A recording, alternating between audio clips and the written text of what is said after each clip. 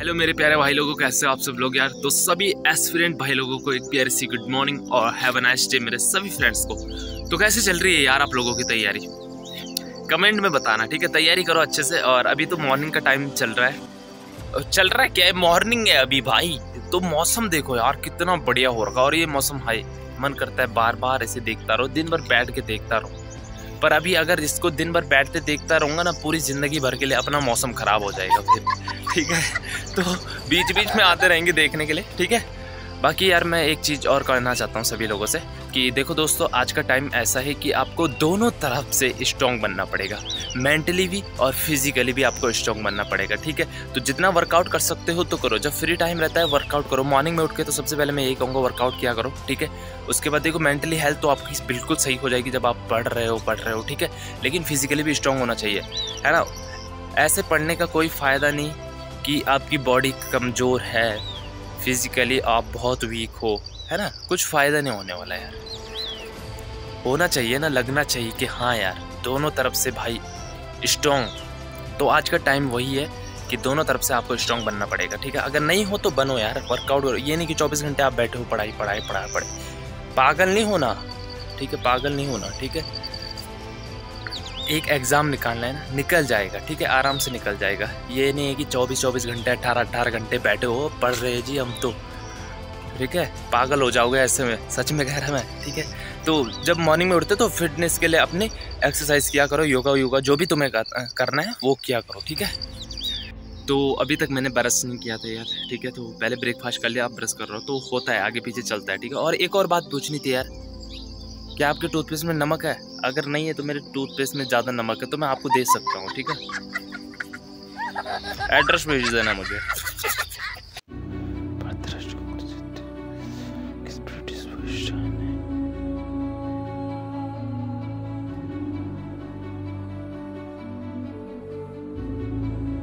अभी यार दोस्तों ना, लाइट चली गई और बाहर का मौसम देख लो, अभी भी बारिश लगी हुई, पूरा मौसम बदला हुआ है। सोचा तब तक आप लोगों से थोड़ा बातें कर लेता हूँ, ठीक है? दोस्त, दो चार बातें थी जो मेरे फ्रेशर्स भाई लोग हैं उनसे करनी थी। देखो दोस्त, ओवर कॉन्फिडेंस में तो बिल्कुल मत रहना, मैं आपको यही कहूँगा, ठीक है? और छोटे एग्ज़ाम समझकर इसे मज़ाक में मत लेना। देखो, एग्ज़ाम चाहे यूपीएससी का हो, चाहे पुलिस कांस्टेबल का।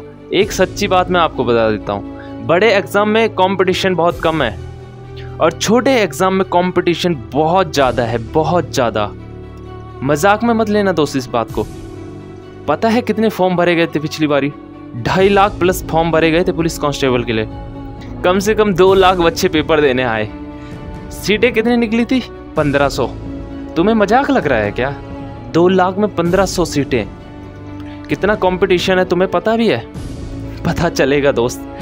ओवर कॉन्फिडेंस में मत रहो, दोस्त, और किसी भी एग्ज़ाम को मज़ाक में मत लो यार।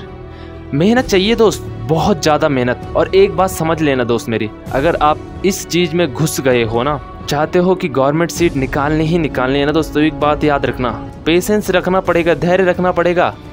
दिमाग में दोनों चीज़ों को लेके चलना पड़ेगा। हो सकता है नहीं हो सिलेक्शन इस बारी। हो सकता है अगली बारी भी ना हो। क्या करोगे फिर? कुछ नहीं सोचा जाता। उसके बाद माइंड ना बहुत नेगेटिव हो जाता है। पता भी है। फिर आदमी सोचता है, चलो छोड़ो यार, यहाँ कुछ नहीं होने वाला। दूसरी जगह चलते हैं। तो इतना पेशेंस रखना पड़ेगा दोस्त। समझ रहे हो? लोग पाँच पाँच छः छः अटैम्प्ट देने के बाद भी ना लगे पड़े हैं। देखो मोटिवेशन होता है पूरा मत मानना दोस्त यार, सच्ची बात है यार ये। समझ रहे हो? तो चाहते हो ना अगर कि पहले ही अटैम्प्ट में सेलेक्शन हो जाए तो मज़ाक में मत लो यार। मेहनत करनी पड़ेगी बहुत ज़्यादा दोस्त। मैं खुद भी कह रहा हूँ, मेरा खुद का हुआ है यार। किसी और को नहीं, मैं खुद को भी कह रहा हूँ। पहला अटैम्प्ट जब मैंने दिया ना ओवर कॉन्फिडेंस में था मैं। और जब बाहर हुआ ना, तब पता चलता है, यार कंपटीशन बहुत ज़्यादा है दोस्त। बहुत ज़्यादा मेहनत करनी पड़ेगी। पहले अटैम्प्ट में सेलेक्शन पाना है तो बहुत ज़्यादा मेहनत करनी पड़ेगी। और ये चीज़ सोच के मत चलना कि इस बार ही सेलेक्शन नहीं होगा तो छोड़ दूँगा, कुछ और करूँगा, ठीक है? ये चीज़ मत सोचो अभी, ठीक है? आगे जो होगा देखा जाएगा। अभी फ़िलहाल तैयारी करते रहो, ठीक है?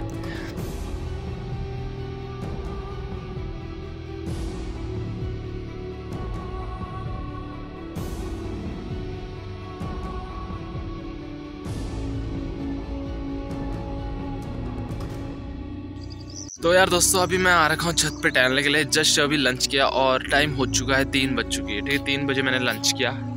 थोड़ा होता है ना, खाना खाने के बाद टहलने का मन करता है यार, है ना? तो मैं अभी आ रखा हूँ अपने छत में। इधर से बहुत बढ़िया नज़ारा दिख रहा है बादल अभी भी लगे हुए धूप का तो पता ही नहीं है, सुबह से। बारिश रुकी हुई है थोड़ा, लेकिन बादल लगे हुए पूरे। ये देखो, इधर से व्यूज़ बहुत बढ़िया दिखता है यार, ऊपर छत से। चारों तरफ़ ये पहाड़ ही पहाड़, बादल ही बादल। धूप का कहीं पता नहीं है। कल आएगी धूप। ठीक है? ये इधर मक्का, पूरे खेत में मक्का लग रखा। थोड़ा टहलेंगे और जब खाना पच जाएगा, फिर से स्टडी करेंगे। ठीक है? और अगर स्टडी नहीं हो पाई तो एक दो घंटा सो जाएँगे। क्या करेंगे? सो जाएँगे, ठीक है? क्योंकि अगर रात उठे रहना तो नींद भी पूरी होनी चाहिए ना, हल्की सी आँखें बंद होनी चाहिए। आँखों को भी थोड़ा आराम देना, हर चीज़ देखनी है, ठीक है? हाँ थोड़ा घूम लेता हूँ पहले मैं, ठीक है? तो दोस्तों यार, अभी इवनिंग टाइम है और आप लोग सोच रहे होंगे कि मैं जंगल में क्या कर रहा हूँ तो मैं जंगल में मंगल कर रहा हूँ, ऐसा बिल्कुल मत सोचना, ठीक है? मंगल नहीं कर रहा हूँ यार, बकरियों में आ रखा हूँ, देखो। पाँच बज रही हैं अभी, ठीक है? और बकरियों में आ रखा दो तीन बकरियाँ हैं तो इनको ला रखा है चराने के लिए, ठीक है? देखो यार, पता पाँच, पता कैसे बज गई? इंतज़ार कर रहे थे, क्योंकि बारिश लगी हुई पूरे दिन से, ठीक है? तो सोचा कि रुक जाएगी रुक जाएगी, उसके बाद ले जाएँगे, ठीक है? क्योंकि बारिश में इनका भी खाने का मन नहीं करता घास भीग जाती है ना? तो अभी मजबूरन खोलना पड़ा, भूखी तो रहेंगी नहीं, है ना? तो फिर लाना पड़ा अभी, थोड़ा लेट होगी वैसे रोज़ भाई लाता है तो सोचा एक टाइम पे अगर मैं चले जाऊँगा तो कोई बड़ी बात नहीं, वो रोज़ यार, वैसे भी वो सोया हुआ था अभी थोड़ा, स्कूल से आया था ना तो उसके बाद थोड़ा सोया फ़ोन भी चलाया होगा, उसने सो गया होगा तो फिर मैंने सोचा क्या उठाना। वैसे तो वो उठ गया था तो मैंने बोला कि मैं ले चाहता हूँ आज।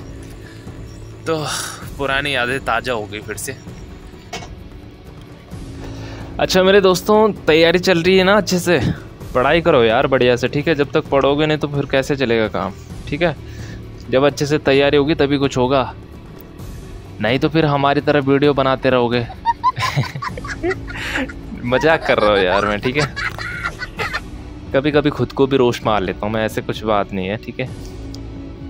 अगर दूसरों को थोड़ा खुशी मिले तो उसमें कोई बुराई नहीं है है ना?